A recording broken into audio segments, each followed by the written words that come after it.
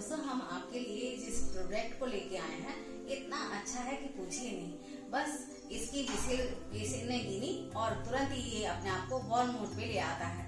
और बिल्कुल सेफली आपका खाना पक के तैयार हो जाता है। आपको बिल्कुल भी डर नहीं रहता कि हम इधर उधर हो गए, कहीं भूल गए तो हमारा खाना जल जाएगा या बेकार हो जाएगा। तो चलिए आपको दिखाते हैं इसकी और क्या क्या खासियत है।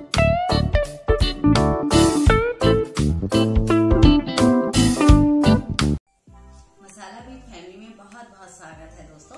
जैसे कि आपने देखा कि हम कुक स्टोव लेके आए हैं तो चलिए इसकी अनबॉक्सिंग कर देते हैं।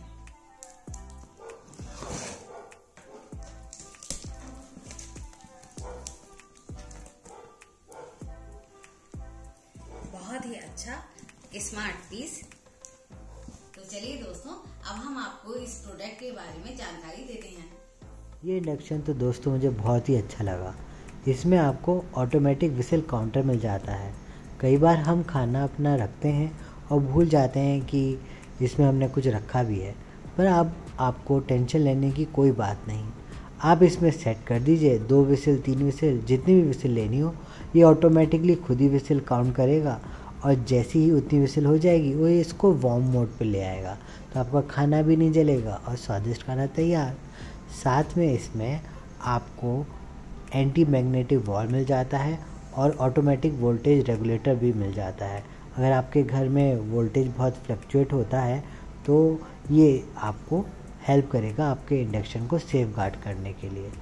देखिए, हमने इसको निकाल लिया है अपने इस कुक स्टोव को, और आप देखें, इसके जो बटन हैं, वो थोड़े से आवाज़ कर रहे हैं, हम देखें। तो बहुत अच्छी क्वालिटी इसकी नहीं लग रही है, लेकिन हाँ ये जो इसकी क्वालिटी है इतनी बढ़िया भी नहीं है, पर ठीक ठाक है। अच्छा है ये। इसके साथ मिल जाती है हमको ये बुकलेट जिसमें इसमें आपको सारा प्रोसेस समझा दिया जाएगा कि आपको इसको कैसे यूज़ करना है। दोस्तों, इसको लेके चलते हैं अपने किचन में और इसको टेस्ट करते हैं कि जैसे इन्होंने बताया कि हम, ये अपनी जो हमारी विजिल है, वो काउंट करता है या नहीं तो इसको टेस्ट भी कर लेते हैं। देखिए, हम इसे ऑन करते हैं और जाते हैं विसिल वाले मोड पर। ये देखें। और ये इस पे आप बिलिंग कर रहा है वन पे। अब ये कितने तक पे जाएगा वो हम आपको दिखाते हैं। ये देखिए।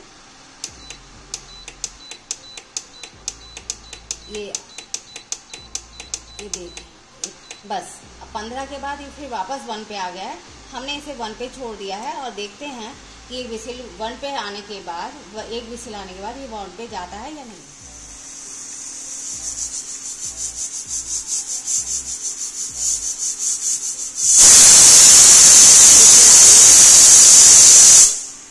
ये देखिए ये बॉन्ड पे हो गया।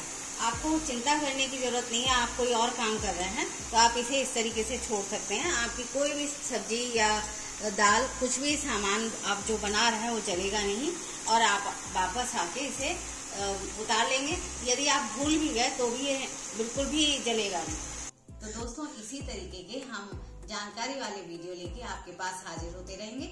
यदि आपने हमारा चैनल अभी तक सब्सक्राइब नहीं किया तो सब्सक्राइब भी कीजिए और बेल आइकन दबाना ना भूलिए।